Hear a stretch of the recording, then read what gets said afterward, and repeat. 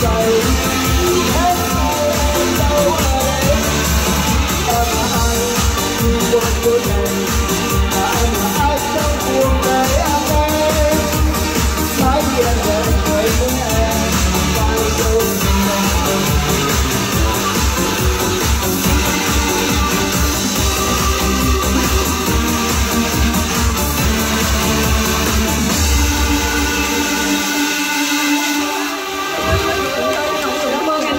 xong rồi chị Liên, chị Liên sẽ là